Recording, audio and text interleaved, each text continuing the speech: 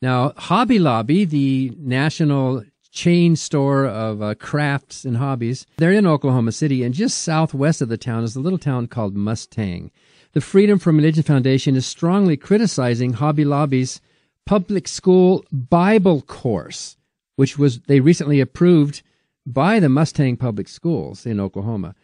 We've been eyeing this Bible course ever since November when Hobby Lobby's billionaire owner Steve Green personally pitched it. FFRF staff attorney Andrew Seidel had a chance to look over the proposed textbook for this Bible course.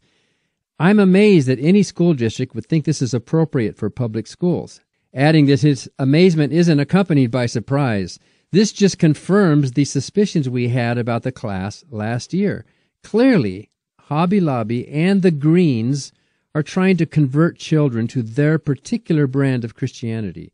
There's nothing scholarly, fair, or balanced about this curriculum that the Mustang Schools has approved. In our April 24th letter to the school district, FFRF noted that the draft materials that the school intends to use unequivocally fail to meet the legal standards required by our Constitution. These materials show a clear Christian bias. They treat the Bible as historically accurate and true in all respects, and the material makes theological claims. Uh, Andrew Seidel hopes to enroll experts to critique the class more thoroughly. Uh, Andrew noted numerous alarming inaccuracies in this book. Uh, right now, it's called The Book. We think that's the title of this curriculum. Perhaps the best example of Christian bias in this book is the question that it asks and then answers.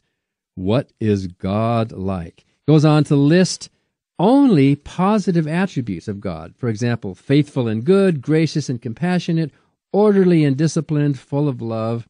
Or this book lists these theologically Christian attributes as always was, always will be, ever present help in times of trouble, a righteous judge. God's negative aspects go unmentioned in this course. For what, for for instance, just one example, according to the same Bible, in the Ten Commandments in Exodus 20, it says, I, the Lord thy God, am a jealous God, visiting the iniquity of the fathers upon the children unto the third and fourth generation. Not only does God admit that he's a jealous God, he even says his name is jealous in the Bible. He promises to punish innocent children for the crimes of their parents in the Ten Commandments. Any fair, balanced listening, listing of God's attributes must include those which he allegedly gives himself. He calls himself a war god. He says in the Bible that he created evil, and uh, he admitted that he tortured and tormented Job and committed murder of Job, Job's children for no reason at all, just because the devil made him do it.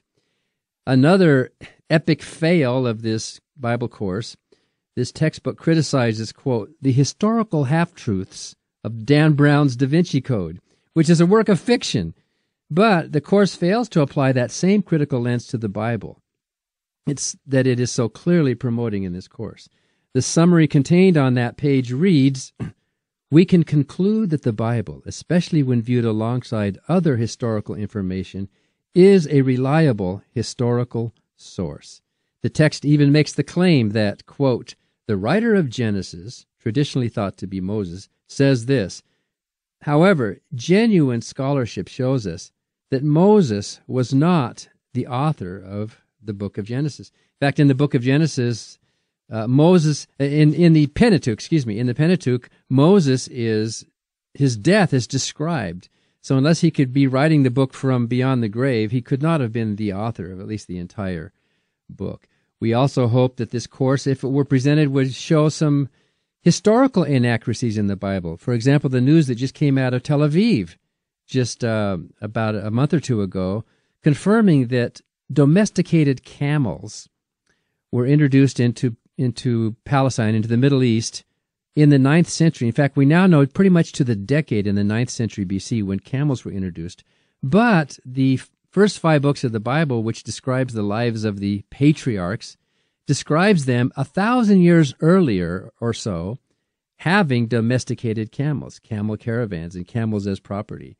There are many examples of historical mistakes, inaccurate, um, anachronisms, inaccuracies, uh, scientific errors in the Bible, historical mistakes in the Bible, and of course, many immoral teachings in the Bible, such as what you should do to people who don't worship uh, on the right day of the week. And the Bible, of course, says there they are stoned to death.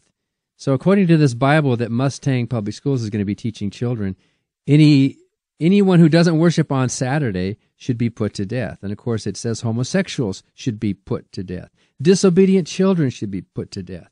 There are passages in the Bible, for example, in Psalm 137, verse 9, that said believers should be happy to take innocent children and dash them against the stones. So obviously, this curriculum in uh, Mustang, Oklahoma is biased towards a warm, fuzzy, positive view of the Christian Bible, and we will continue our complaint.